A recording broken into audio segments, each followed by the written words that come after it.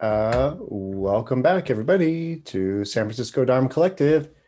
I'm MC Owens, and this is uh, one of my visual presentations on something Buddhist.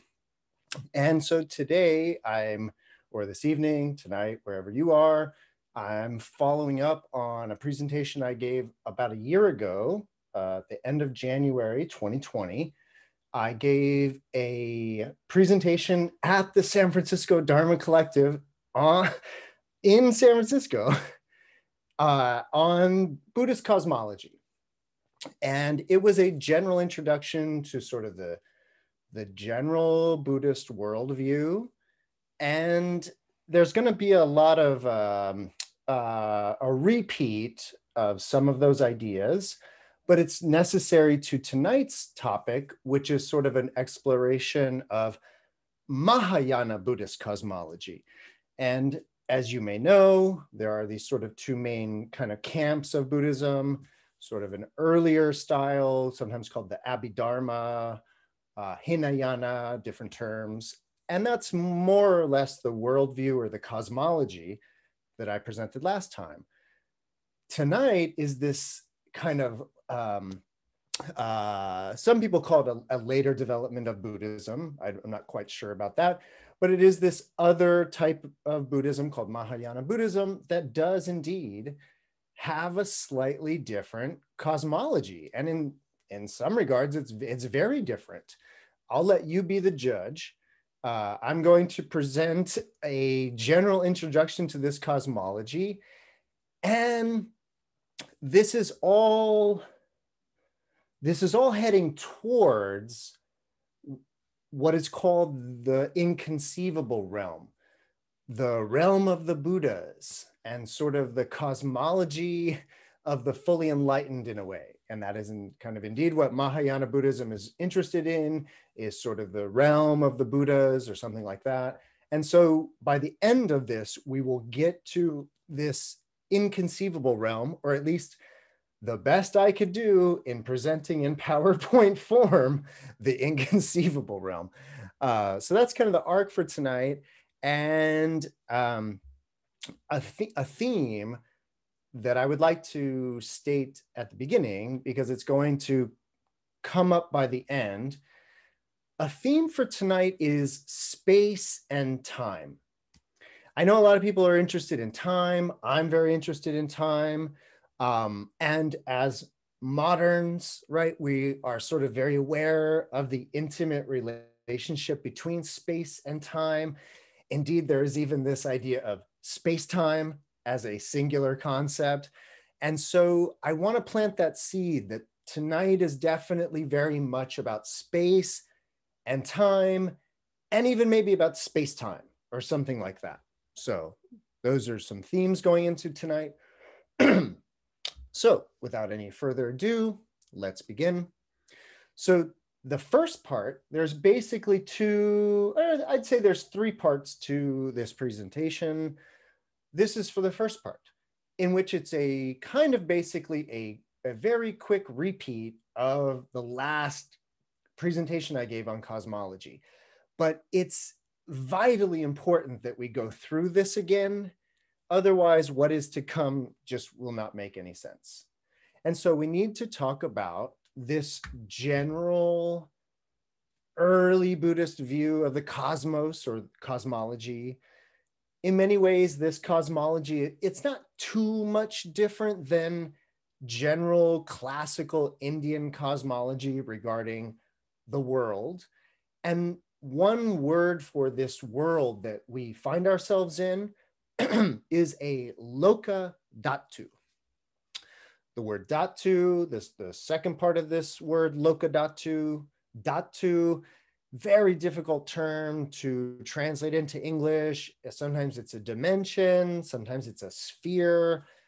I'm going to go with realm for this evening. Loka, on the other hand, is an interesting word because we in English get the word local localized, locality, you go, it goes on and on, but the prefix for lok comes from the Sanskrit loka, And so indeed, we are talking about localized realms, lokadhatus, and this is the general cosmology for a lokadhatu. It goes something like this. There is a period of creation, and this period of creation lasts 20 kalpas. And this is going to be the first uh, the first connection being made between space and time. So a kalpa is a Sanskrit word. A, it, it's usually translated into English as an eon, an age, you know, and I'm not going to go into lengths about how long a kalpa is. Indeed, I would be here for kalpas doing so. But I could summarize it with the general idea that a kalpa is the amount of time it takes for a mountain to erode. A very long, we're talking geologic, big, long time.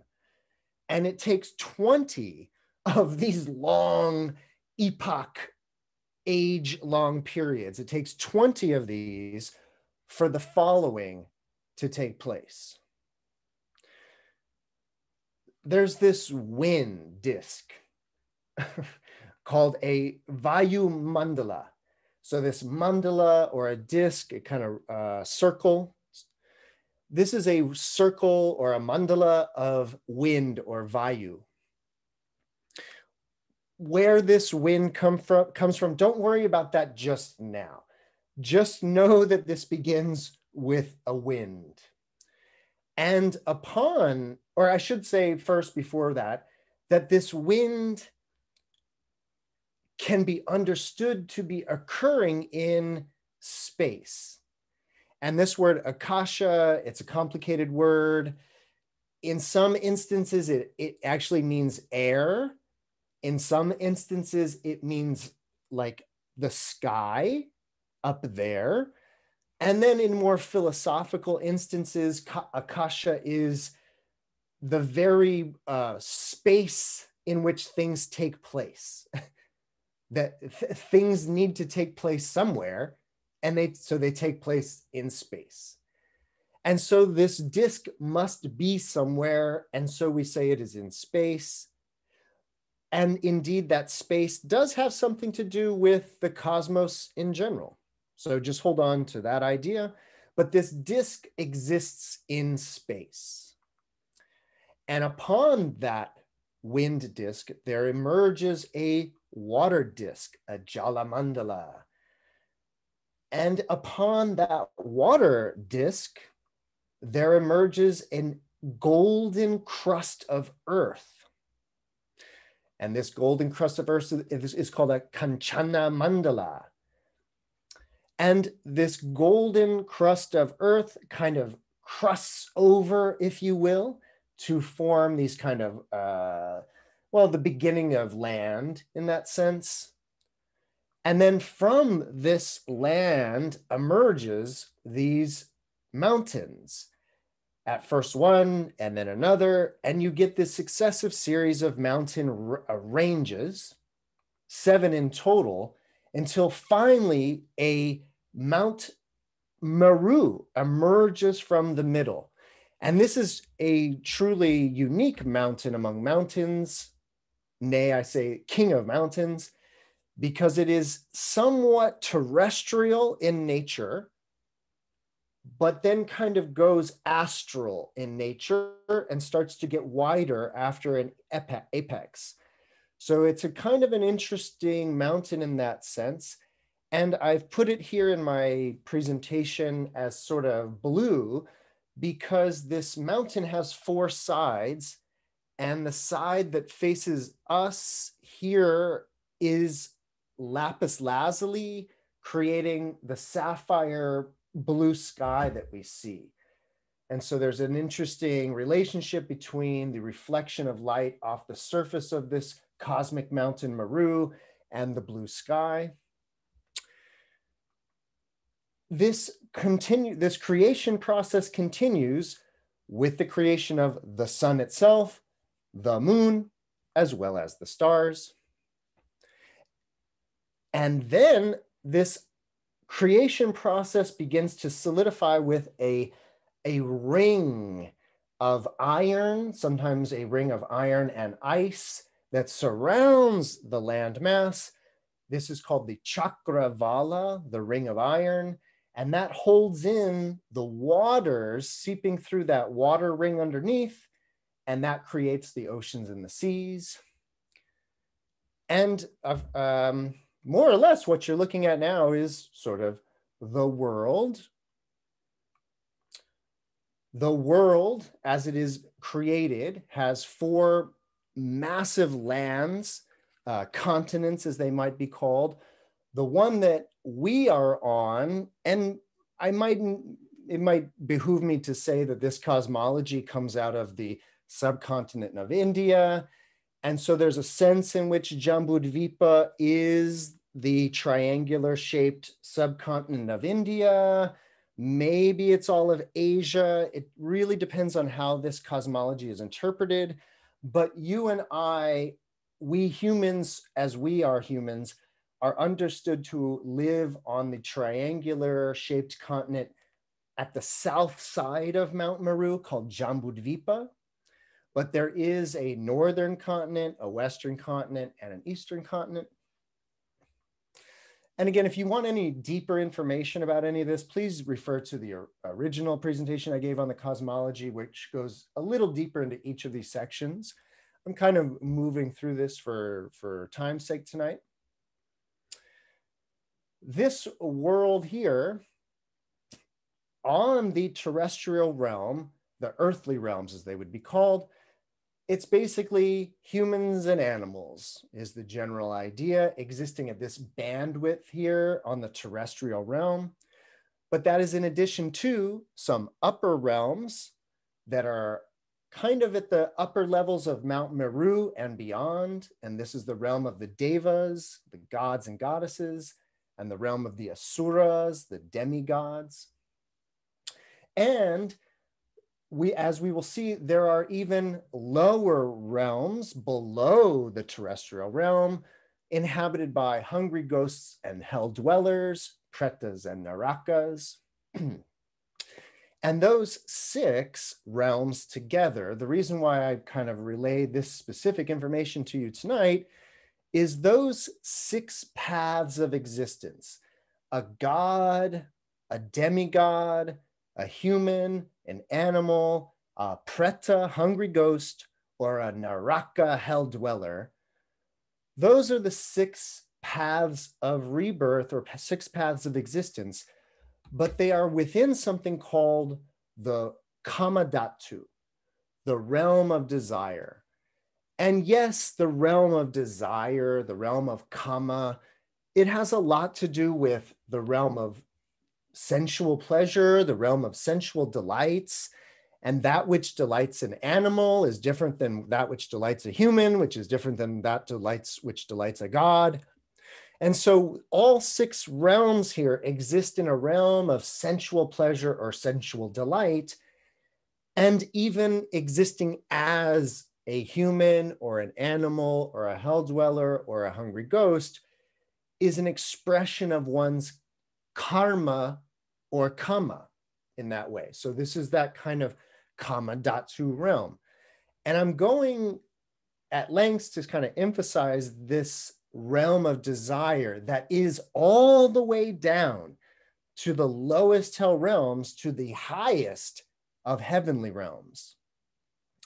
Speaking of which, I want you to know that within the realm of desire, the same realm of desire in which the animals roam and the humans roam and the hell dwellers roam, there is also six levels of heavenly realms, but they do exist in the realm of desire.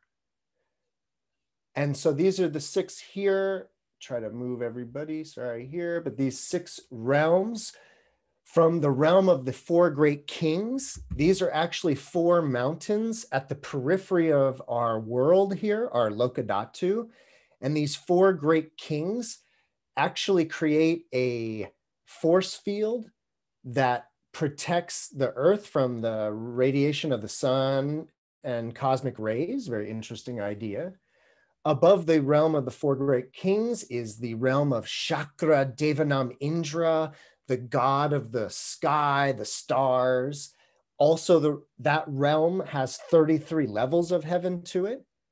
And then that dividing line that I have in my presentation that separate the 33 Indra god heavens from Yama heaven, that actually represents the apex of Mount Meru, where we are we cease being in the terrestrial realm entirely, and we are now entirely in a spiritual psychic realm.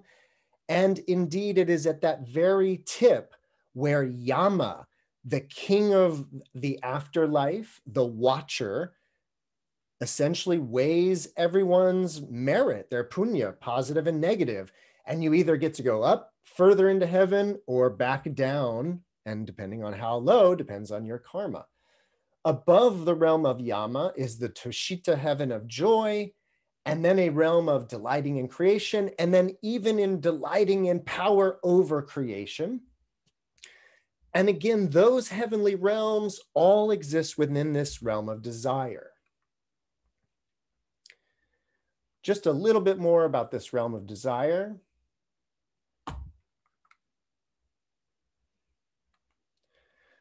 Quickly, these are the 18 uh, hell realms or 16 hell realms. These are eight cold hells and eight hot hells, all below the earth. These are the realms of the Narakas. And as you can see, they are quite uh, descriptive of the type of suffering that one undergoes in those realms. And I wouldn't leave you just with this world, with its hell realms and its terrestrial realms. There is, and this is more, kind of, although not entirely, but this is kind of the heart of my last cosmological presentation, which was speaking about these higher realms of meditation. And eventually, the role of the Dharma or the, the, the role of Buddhism in escaping from the samsaric cycle of rebirth in the realm of desire. That's sort of the, again, the heart of my pre last presentation, which is called Escape from Samsara. But this heavenly realm here, the first heavenly realm, is the Brahma worlds, the realm of Brahma, who, by the way, Brahma is the creator of this whole world that we're looking at in this way. And so he abides, Brahma abides in this upper realm. And what's interesting is, is that within the Buddhist tradition, the meditation practitioner who abides in the first dhyana abides in the Brahma Viharas, abides in the Brahma realms that are considered to be spatially above Mount Meru. Okay. Above the first jhana. Oh, and actually, before we continue, I want you to note that these Brahma worlds of the first jhana meditator, they exist in the realm of pure form, not the realm of kama, not the realm of desire. These are the realm of pure form. And so tonight, actually, let me pause here and say tonight, tonight's presentation on Mahayana cosmology is a very, very interesting look at life in the jhanas.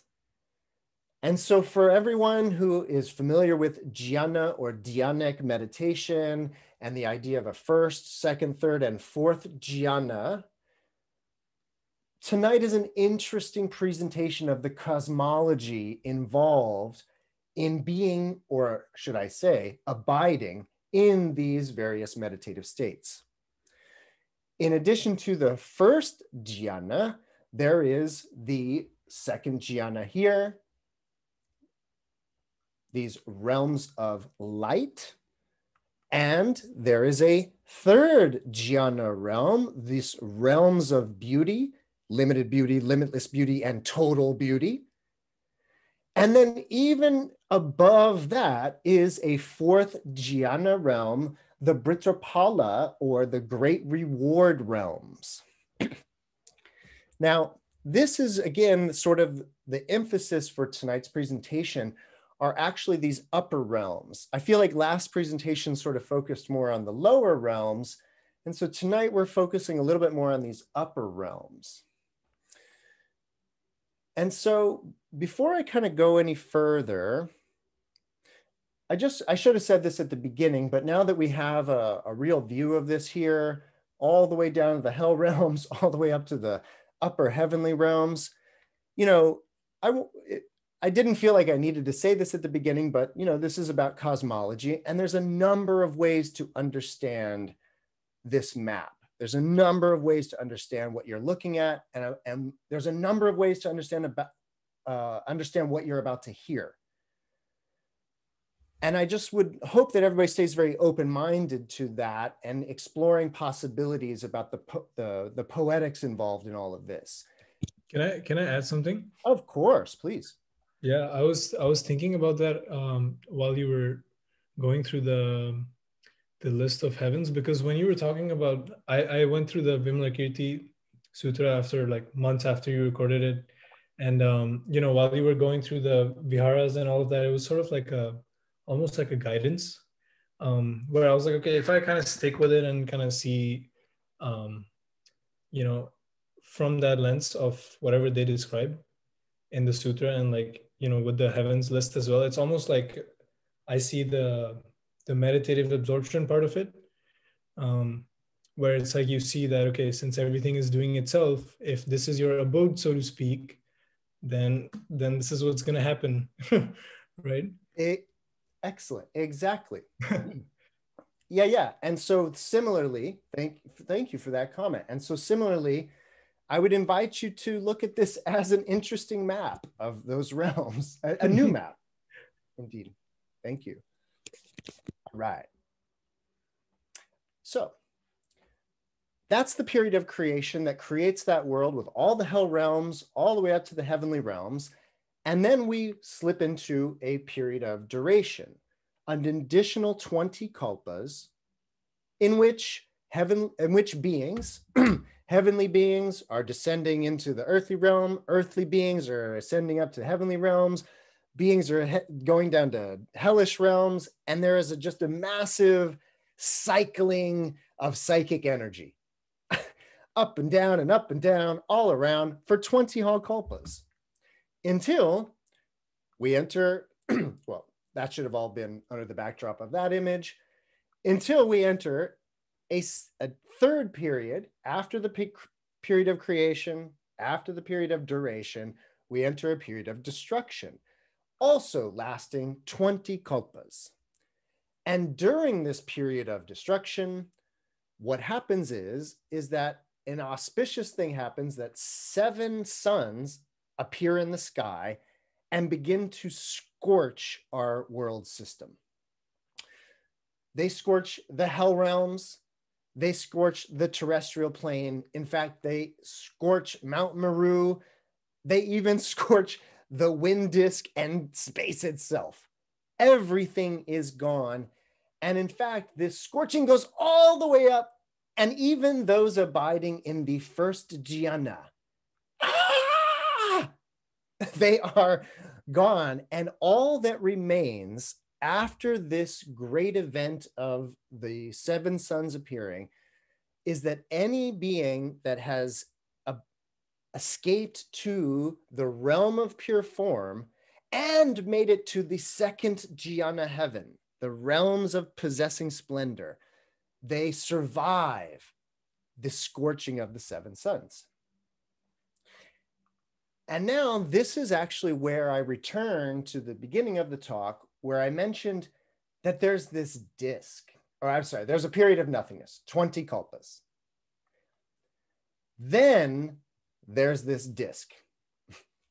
So 20 kalpas of absolute still nothingness until the stirring of this disk of wind. And then a world. And then what they say is, is that actually beings that have been abiding in the third or second, third, and fourth jhanas begin to descend into this terrestrial realm that has been created and begin to fill it with hell realms by their karmic activities descending further down. And eventually the whole process begins over again. And there's a period of duration that lasts 20 kalpas. and so I figured while we're waiting in the period of duration, I would tell you part two of the cosmological uh, map here. So this is what could be called Sahasrara cosmology. And the word Sahasrara is a Sanskrit word for a thousand. And here is, and, and this isn't a thing that you may have heard about or read about in sutras, but I want to show you about it. So here we are. This is our Loka Dhatu. And we have all the hell realms and the terrestrial realms and the heavenly realms and even the realms of pure form. And if you're someone abiding in the second jhana or the third jhana or the fourth jhana, from those upper heavenly realms, the world can start to look a little small. And actually, what it is, and this is the very interesting new information I have for you tonight, which is that actually the pure or the realms of pure form, in particular, the second and third and fourth jhanas, they have much broader areas than the terrestrial realm, hellish realms, and even the realm of the first jhana practitioner. From the second jhana and above, the area that is covered by those realms, the upper realms, well, it covers not just the area of one world system and not just the area of two or three or four or five or six or seven or eight or nine. In fact, the area covered by the second, third, and fourth jhana realms is equivalent to 1,000 localized realms. And this is called a chula sahasrara lokadhatu, a small thousand localized realms. And so please don't bother counting. That is, of course, not a thousand. I have to tell you, in in you know, I mentioned Brahma, the creator of the world, who abides in the Brahma heavens. I don't know how Brahma did it because my computer crashed two times trying to put this presentation together. This got to be so much data that I maybe he was cloud computing and Indra's net or something. I don't know, but this, it's a it's a lot of information shrinking down but the idea is is that these upper realms abide and encompass a thousand worlds and this is really where i open it up to you to really wonder what is being spoken about here i've said in dharma talks in the past maybe they're talking about the stars in the sky that you see. Maybe they're talking about the cosmos and what is beyond and and you know and Captain Kirk and and Spock and going out and finding these places. Maybe the idea of a multiverse definitely comes to mind. An intersubjective universe comes to mind in terms of a meditation. Please, what do you got?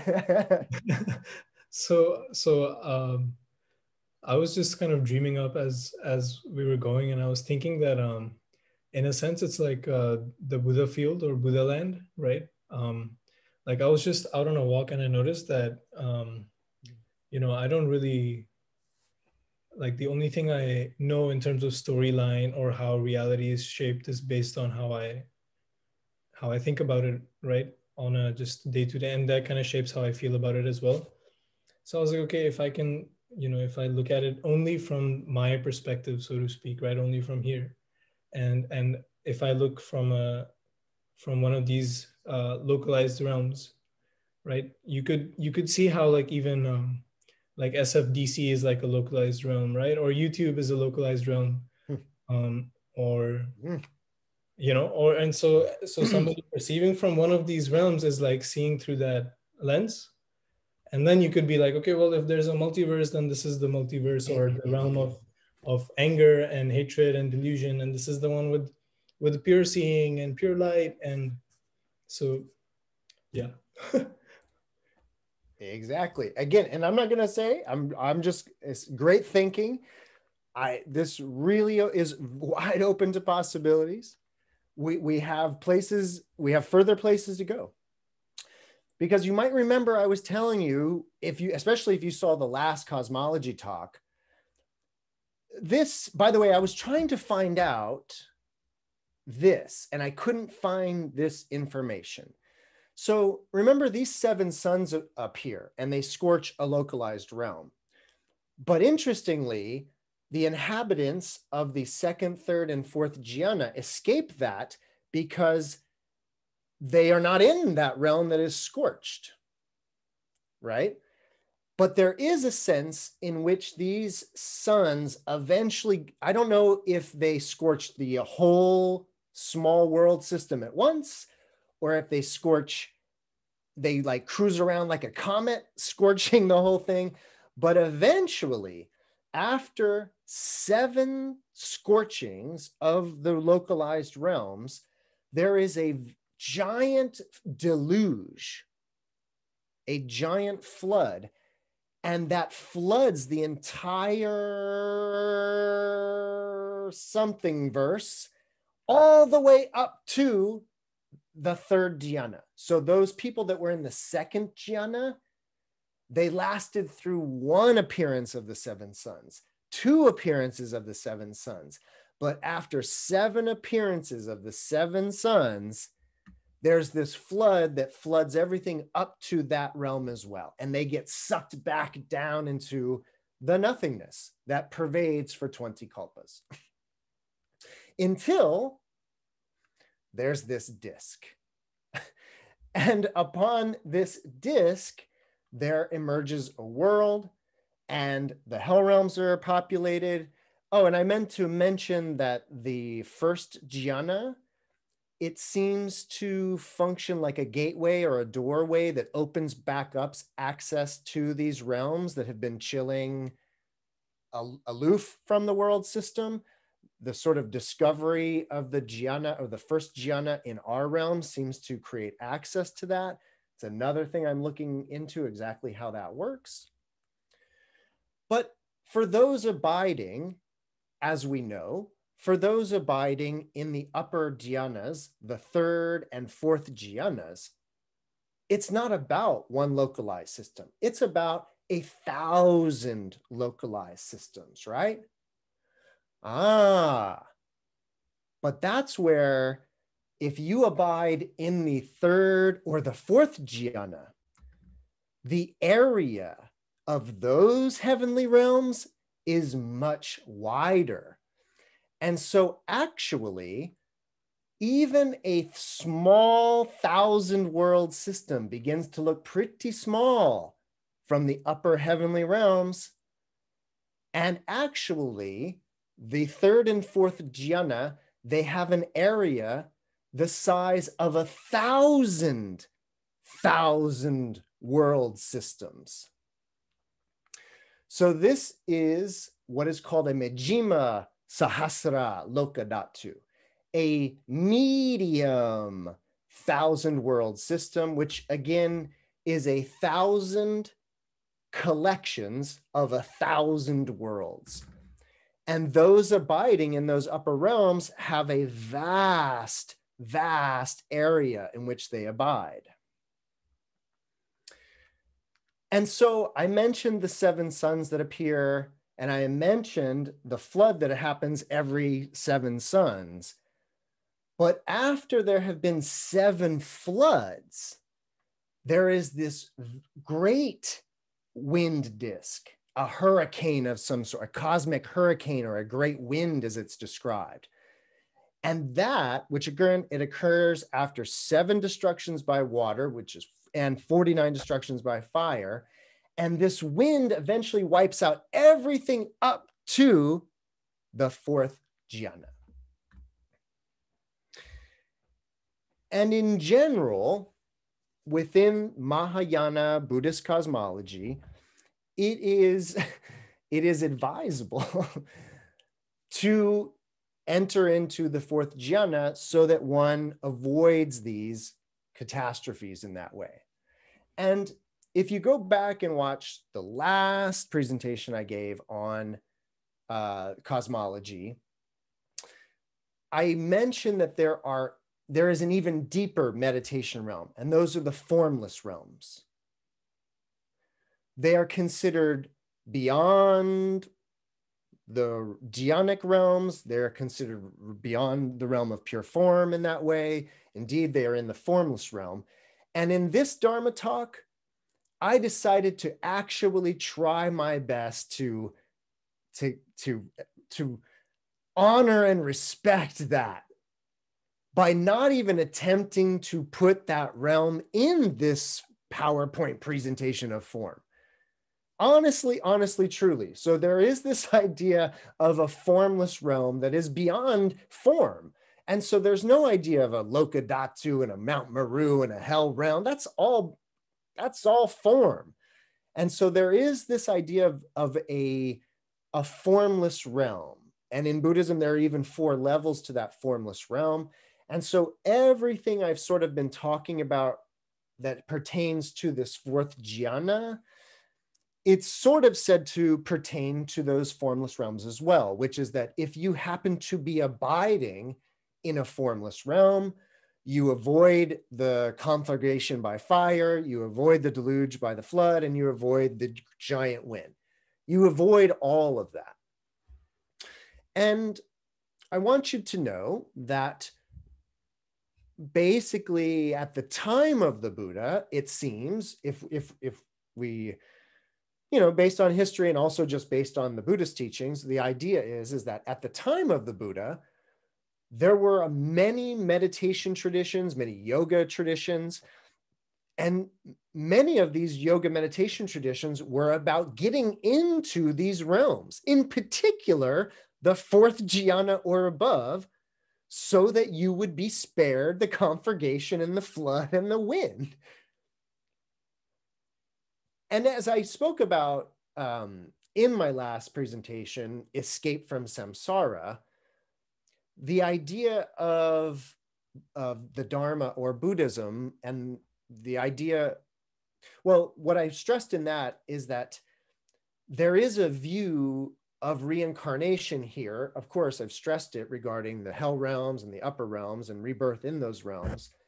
But there is this idea of this churning of psychic energy that I mentioned, and a kind of one form of release was getting into these deep meditative states where you are not participating in this churning of psychic energy.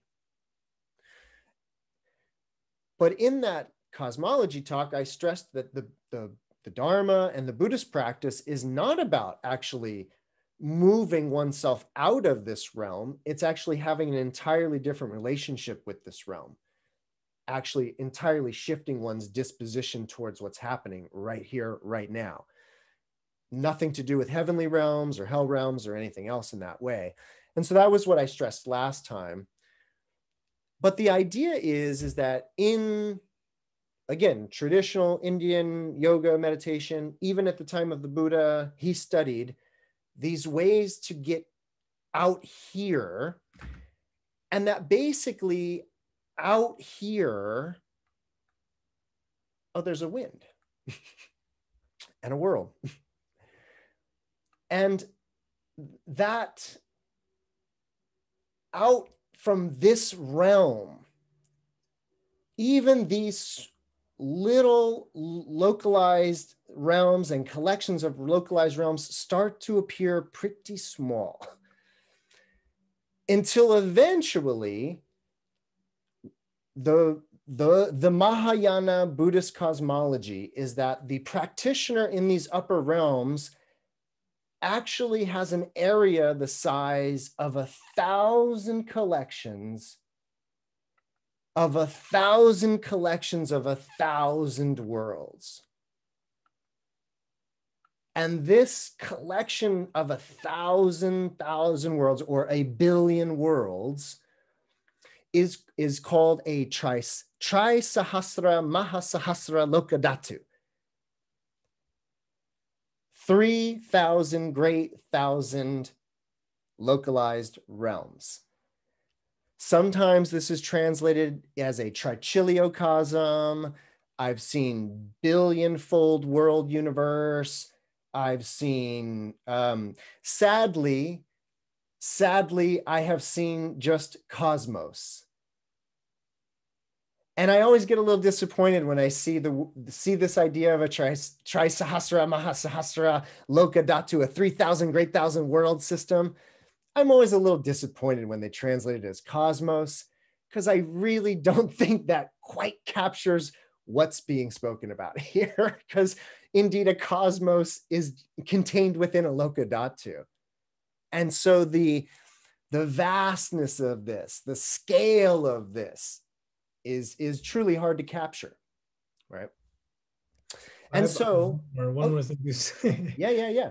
So, so I, um, I also noticed, you know, the same the, the same walk that you know, if if you were to say perceive from such a realm, right? It's um, mm-hmm.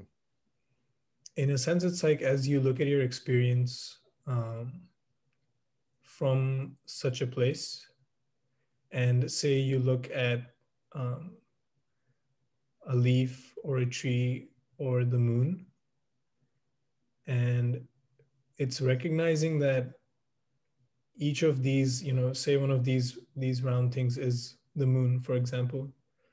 Hmm. you could notice that even that just the moon itself what you see just that tiny blip in the sky is so rich of you know craters and mountains and you know who knows what kinds of beings are out there on that planet or or on the moon. And it's like uh, you know you think of the moon at that scale and you can notice the same by just looking at your thumb.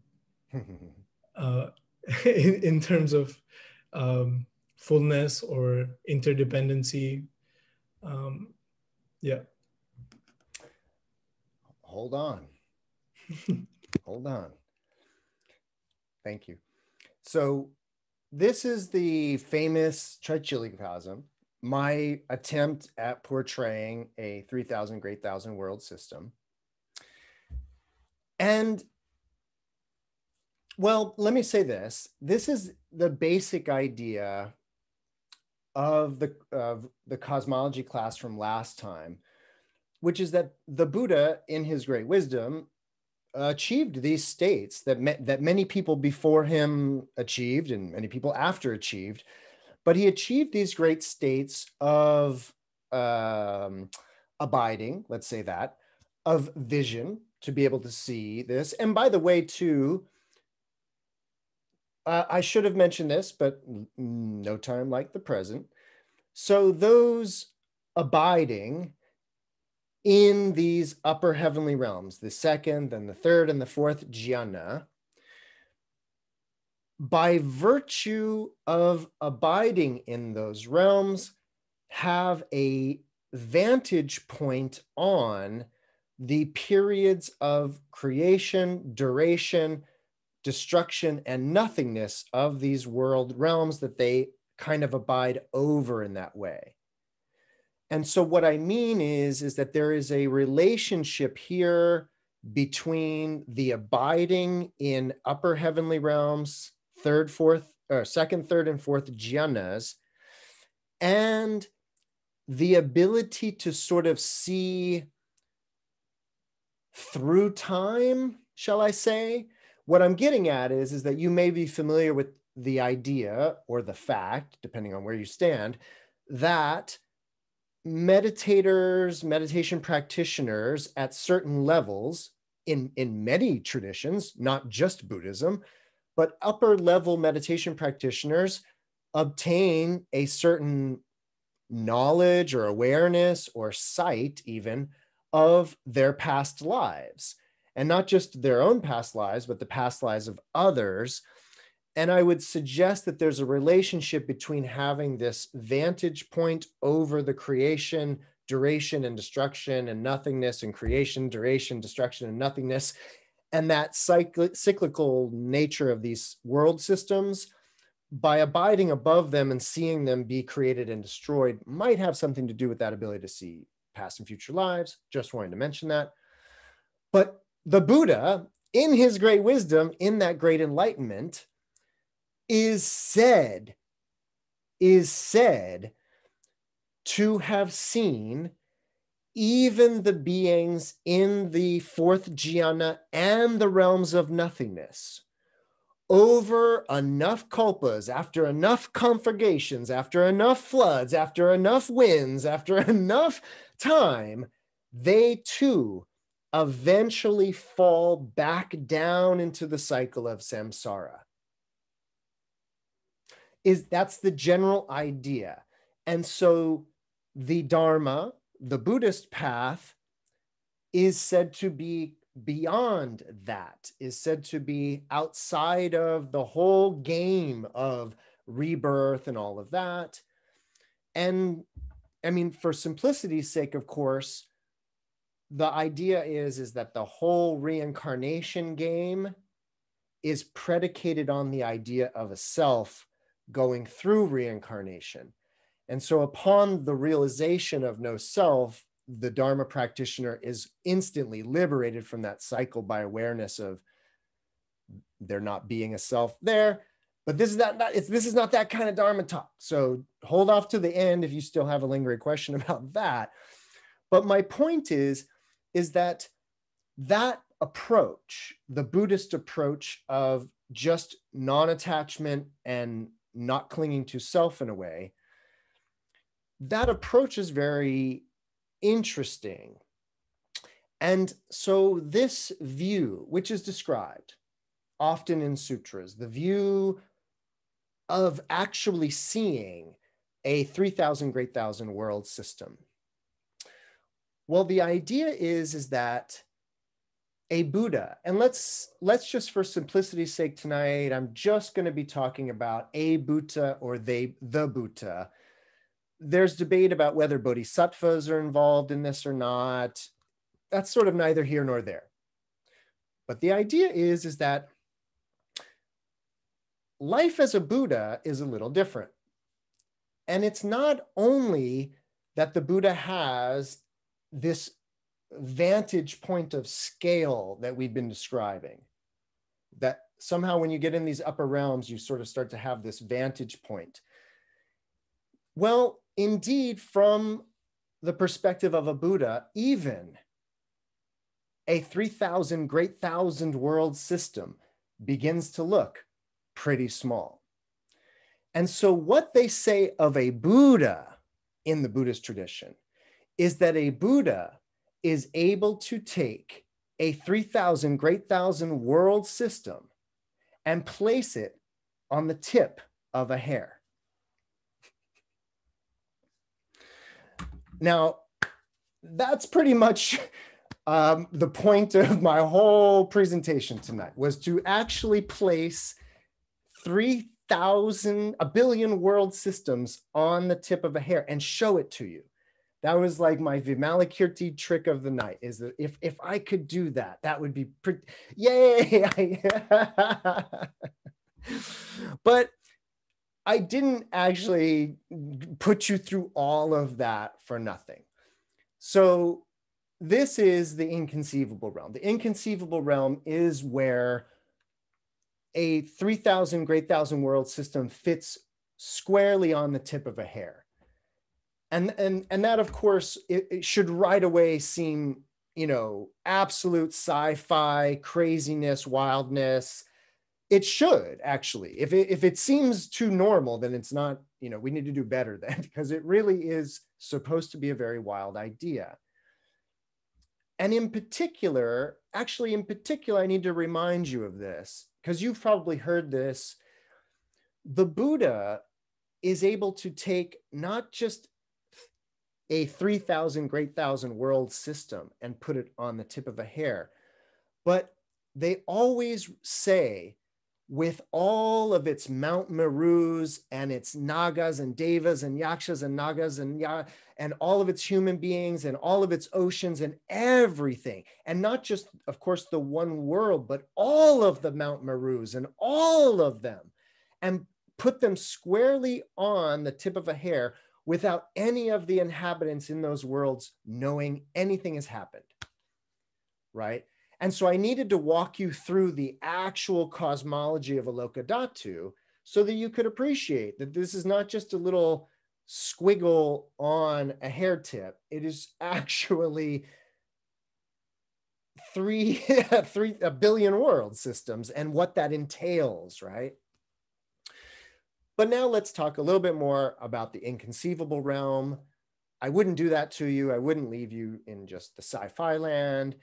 So, what's interesting about this talk tonight is I I have a very funny uh, path.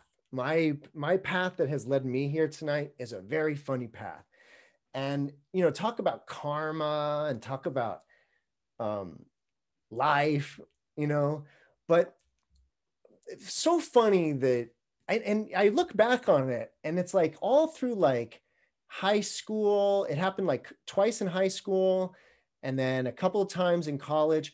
I wound up taking like, um, uh, I took in high school a public address class, like basically a class on giving speeches. Like, why I did this, I don't know. I think it was because I thought it would be an easy A, like, oh, you just get up and talk. Like, I don't have to read anything. Like that's I just have to have the nerve to get up to do that. Like I could do that.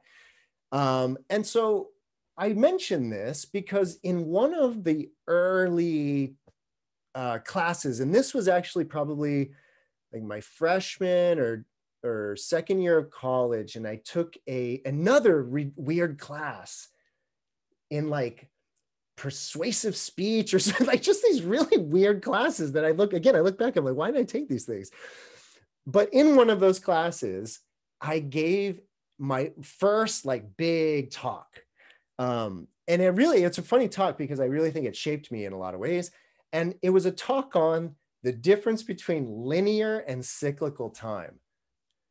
I was like, you know, such a nerd and I was like so into science and all this different stuff. But I was also beginning my study of Taoism and Buddhism and it was really interested in, you know, Eastern philosophy, as it would be called, and just other ways of thinking and all of that. And I had really had, you know, my own sort of, at, at least, you know, freshman year of college insights about time and about like linear time versus cyclical time and what that kind of meant and all of that. And so it's interesting. And I, you know, I don't know how that talk went over. Um, like if, if, you know, I probably was able to share my enthusiasm about time. I, I don't know if anybody walked away with clarity about the difference between the two, but the reason why I mention that is, is I actually want to end, end this presentation tonight by bringing it back to around to the topic I stated at the opener, which is this space time idea. And I'm going to revisit my old talk. I'm going to revisit my old talk, and we're going to have a conversation about linear time versus cyclical time. And so what I have here is, is the, and yes, this is the um, the Lokadhatu that would be familiar to the person of classical India, right?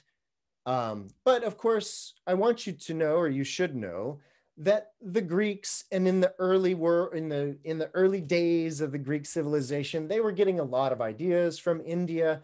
And indeed, for a while, the Greeks had what we would call a flat earth kind of a model that didn't look too much different than this in terms of Olympus and all of this. So there's a lot of correlations between these things. And so rather than recreating a Western model of the world, I'm just going to stick with my Lokadhatu here, for example. But the important part about this is what's at the top of this. So what I've put at the top is that our general conception of time. And if anybody in the audience is like, that's not my conception of time, respect. For, for real. If, especially if, if you're somebody that's like, that's not my calendar, that's not my time, respect. However, insofar as you or I or anyone understands themselves as living in the year 2020, you're pretty squarely in a linear time system. Because I hate to tell you, but that number system works uh, zero to 2020 and 2021 and beyond. It's the very way that that works.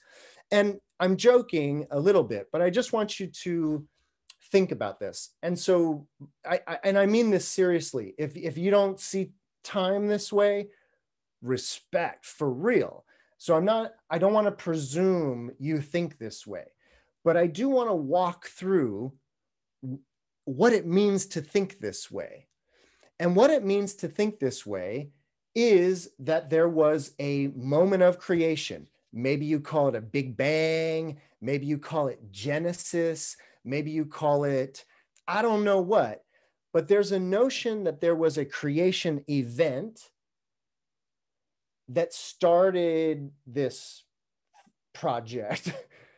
and we are now, oh, and of course, we have a weird time system that moves to the year zero, but then moves forward. You know, it's a little weird, but it doesn't matter because the conceptually, there's the notion of creation the notion that it's 2021 and we're headed towards destruction. And again, whether you think that's the supernova of the sun and the uh, when the earth is brought into the, the radius of the sun, or whether you think it's the big crunch when all the matter of the universe is brought back to the singularity, or whether I, you know, the uh, pleroma of Christianity when all is with God again. You know, there's so many different ways to cut this, but the idea is is that if you think of it as a moment of creation and now here I am and it's all headed towards an the end and that's the end. that's what we would call linear time. That would that that would be linear time. That there's just one creation event, a duration of time and an end of time. All right. And again, this is not about like whether you should see it this way or not. I'm just kind of laying out the groundwork for that idea. This would be in distinction to this model, where you have the Indian view that I've laid out with the Lokadhatu cosmology, that there is this Lokadhatu that goes through periods of creation, duration, destruction, nothingness, and then creation again, duration, nothingness. And it just keeps going around and around and around and around and around. And the idea of this, of course, where somebody could get such a crazy idea that it just keeps going around and around and around is from the seasons is from the moon, the waxing and the waning, is from the cyclicality of everything else around us. everything else around us moves in cycles. Why wouldn't the creation, destruction, and creation and destruction of the earth or the cosmos or the universe as well? And so that's where you move into the general kind of general Indian, general Buddhist, kind of, mm, you know, it's a lot of other cultures that have this view of time that it that we we find ourselves in a season of the world. Michael, I have a question that, or maybe you, you can share some thoughts. You know, thinking about time, um, I'm thinking about um, time only exists when there is experience and or it seems like when there is experience and time only exists when there's thought. So thought is and and experience is always limited. It has always a beginning and an end. And i feel for me and like experience and thoughts are prior to time Um, but if we go one step even further back, then and thinking about you know who is experiencing, who has the experience and who has the thought comes from a non-local, um, let's mm-hmm. say, entity. You know, so we, we would in Buddhism we would probably call it emptiness or um, so. I don't know some thoughts around around the root cause of time, space. yeah, anyway, some thoughts. Just yeah, yeah, yeah. Uh, as usual, Connie, you're one step ahead of me. You're one slide. I'm one slide behind you. so let me. Um, and and by the way, I, I fortunately managed to to have an extra some little extra time here. And so there will be i only have a little bit more to say so we'll have lots of time for discussion but connie's um, insight regarding or question slash insight regarding the origin of time is an interesting one. And so while i have been talking about time quite cyclically throughout this uh, talk it's i said at the beginning this was all to actually arc towards an, this understanding of what the buddhist or mahayana buddhists call the inconceivable realm. And so we need to go back to the, our 3000 great thousand world system on the tip of a hair. And so what about time here? Is this linear is this cyclical like what is exact when when you're abiding in some buddha realm or some fourth heavenly dhyana realm and you are actually witnessing the cyclical creation duration destruction nothingness creation duration and you're witnessing this of, of worlds that's some other time then. That cannot be cyclical time anymore. And so indeed as Connie foreshadowed here, there is, I will suggest, a a third way of thinking of time, and it is a very Mahayana Buddhist way of thinking of time. And it is this that indeed, as Connie was saying, the, I, the past and the future and even the present in this model extend out from extend out.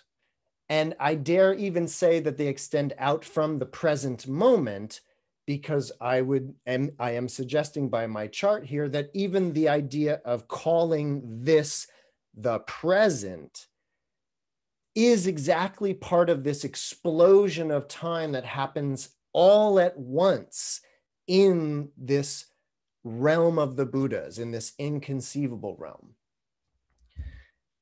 And this is sort of the main kind of idea that I wanted, was hoping actually that I would get to tonight, which is what does it mean? What is, or what is one thing that it could mean to put a billionfold world universe on the tip of a hair? Well, I think it would certainly place one outside of normal conventions of time. Absolutely.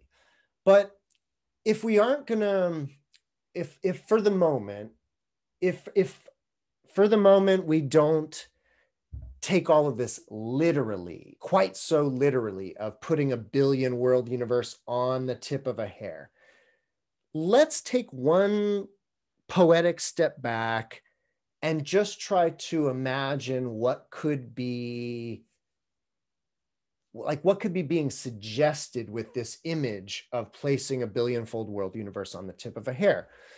And what i'm suggesting is, is that it's a very beautiful image right? A whole billion worlds on the tip of one hair that it's a beautiful image to capture this mahayana idea of time emerging out of again i dare i don't want to call it the present but it's emerging out of experience in that way and and what that means is that it's not like linear time where the past came before the present which leads to the future it's sort of all at once in that way Yes, this. Oh, I'm sorry. I I just I just got really excited when this. That's great.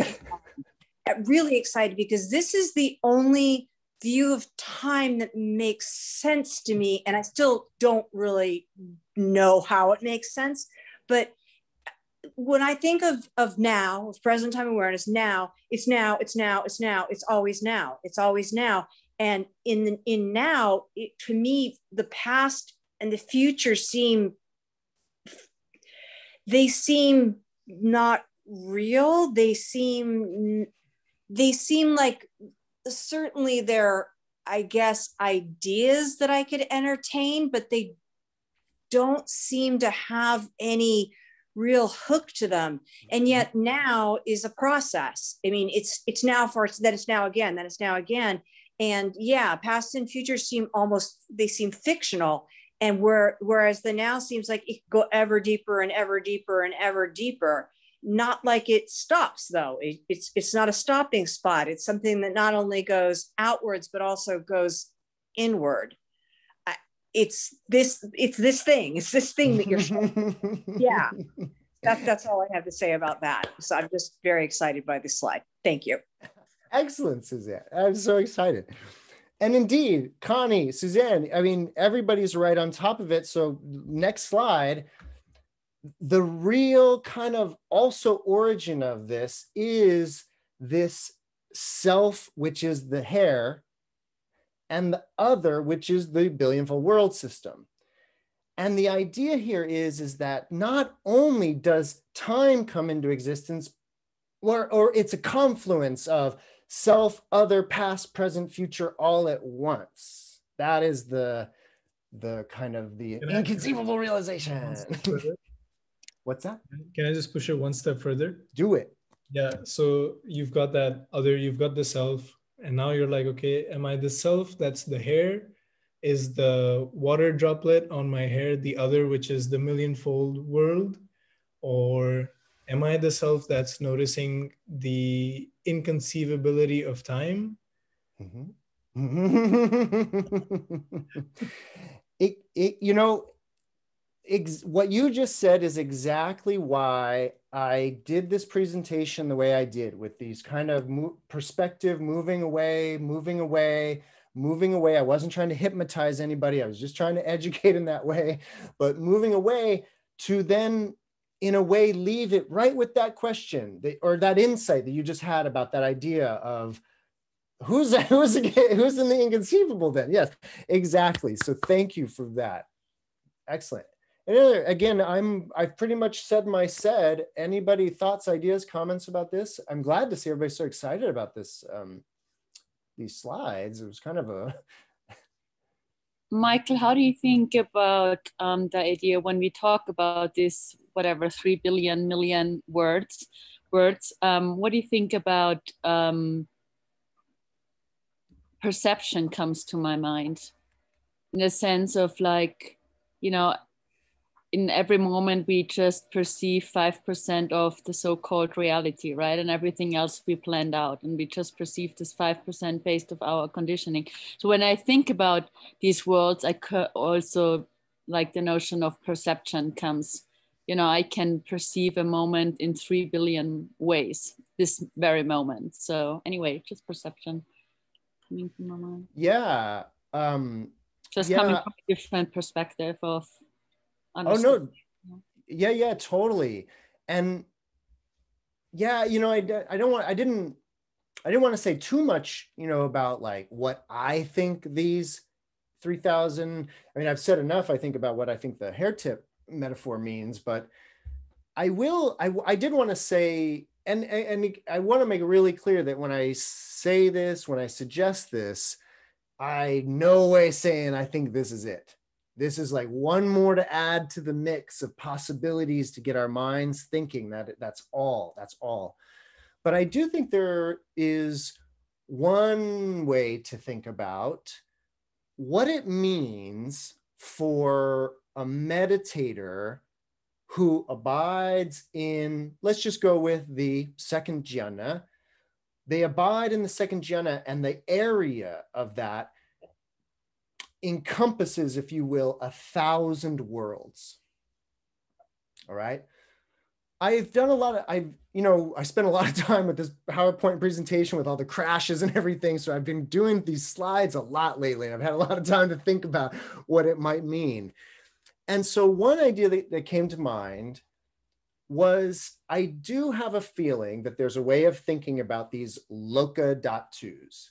In particular, this idea of the kama dhatu within the lokadhatu sort of idea, this realm of desire in which beings are born as hell dwellers or hungry ghosts or humans or animals or what have you.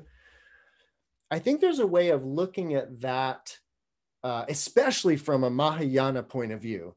There's a way of looking at that localized realm as the subjective universe.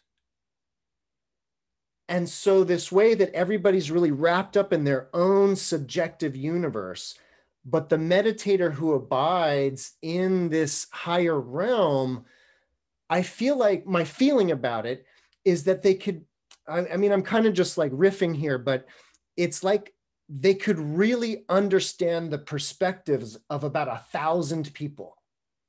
They are above the zeitgeist of about a thousand people, and they abide in this realm of pure form that is about the ideas that these thousand people are engaged in, but they have no attached desire to those ideas. And so they are able to have more objectivity. So it speaks about being like a really, really myopically, karmically subjective. And then these other meditation realms are when is someone is a little, you're a little more objective about what's going on. And then even more objective to where it's a billion worlds that it's like you would have an objective stance on a billion subjective opinions in that way. Does that make sense as a again just as a possibility not as the way? Hey michael. Hi. Uh, i'm thinking hey. about hi i'm thinking a lot about the avatamsaka sutra uh, through this talk where there seems to be a couple twists uh, on top of that, one, one seems to be like the identification of the Buddha body with the universe itself uh, that happens there, and where the, this observer uh, subject object seems to kind of uh, melt a little bit in that sense through that. Mm-hmm. Um, the other one that you didn't mention is like this this explosion of like worlds into worlds, but there's also this notion of like every atom of each world contains billion worlds and so on this recursive step as well which is another kind of a, uh... absolutely. And i do by the way uh, jean-francois you mentioned the avatamsaka sutra that is part three of this cosmology okay. presentation that i will give at some point maybe in uh, uh, you know soon but the avatamsaka sutra takes this even further with what they call the flower bank repository world. And that gets beautiful. And the Avatamsaka Sutra is, yes, very much about the idea that one of these billion fold world universes is inside each atom of every billion fold world universe. And that is where the Avatamsaka cosmology goes kind of holographic where any particular element contains all the other elements. And indeed, that's where it goes wild. it, indeed, and so wild that it requires an entirely other uh, presentation. So this was priming us, getting us ready for that one. So thanks. Thanks. yeah, yeah. interesting. Are there comments or insights about any of that? I'm, I'm thinking it'll require a, a different program than PowerPoint if this one if this one crashed. yeah, I would not be able to squeeze them. I don't know how many more trichiliocosms you can create. Um, something you said when you were talking about the the the first cycle of destruction, the one that that the that the only the uh, first jhana gets sucked into, but the second, third, and fourth remain. And then when you said when the world gets rebuilt, re- rebuilt, I, I, I, don't know if you meant to say this, but I thought it was beautiful. You said that the, then when the, pe- the the beings in the second, third, and fourth jhana realms, uh, they they they repopulate the world. But you, I think you used the word create. So they create the realms, and I thought that was so. Hmm. Uh, I don't I don't know if it's if it's if it's truly what the cosmology says, but it evokes that idea that you know we're we create all of this. You know, we create a hell realm by being hungry ghosts. You know, and we create whatever realm we're in. Beings create beings create realms rather than populate them. Yeah, yeah, yeah. That might have been a slip of, of my tongue, but a good one in that way and by the way, Noam, you reminded me of something. It was sort of now that we're sort of like in interpretation hour in that way, where we can kind of, um, you know, there is a like okay, so what are these localized realms? These Lokadhatus and Mount Meru and the Hell realms. Like, so what's going on with that, right? And I think there's an interesting. Um, it's almost a cosmology unto itself in a way but there's an interesting way of looking at that um, where, well, in essence, the Lokadhatu is a, um, a macrocosm, if you will, of the microcosm of the body. And there's this thing where, you know, and this might, I, I don't know, it actually might, it might say something about the Buddha realms but what I was going to say, sorry, I lost my train of thought. But what I was going to say is, is that there's this way of looking at the lokadhatu as the macrocosm of the body, where we do sort of because we are Homo sapiens, there's a way that our idea of heaven and cognition and joy is up here, and our idea of of hell is down there. And it's an interesting thing about the the looking at this as the cosmology of the body in a kind of psychic way where again we sort of i mean if you're into the idea of like lower chakra stuff upper chakra stuff if you're into that idea in terms of kundalini yoga and seeing root chakra stuff being more primordial, very, very emotional. And as you move up the chakras, you get more and more intellectual, more creative until you're at the spiritual chakra. Well, lo and behold, that looks a lot like a Lokadhatu. And so there's a way of looking at hell realms and all of that as kind of ener- energetic forces. And this idea that there's this kind of entropic, energetic pull towards certain things that wind you up as a hungry ghost or in the hell realm. And then there's other forces that sort of propel you up Mount Meru in that way. So just an interesting additional way of looking at the cosmology of the just the Lokadhatu itself, where it's like, oh, maybe that's why Mount Meru is like that. And it's like, oh, maybe that makes a lot more sense than uh, Polaris, the Polaris mountain that, you know, we should all get the uh, expedition together to go find the magical mountain at the center of the world, right? I'm all for going to on an archaeological exposition to find the giant mountain in the center of the world, but they might be talking about something else. I like this what you're saying here about the about this the like the really root physical like the root chakra all the way up to the kind of the more cerebral and I wanted to know if you could say more about actual jhana practice, which is something that I've been attempting for the last couple of years to, I don't know, greater or lesser success. At least, is at least it feels like I've heard it described, and and how it kind of correlates to to this cosmology. I just the actual practice itself, you know, like from going from the you know the body ecstasy to you know the more of the emotional joy to the tranquility to the equanimity. And i realize there's ones after that that i don't know that i could ever touch but um yeah about that.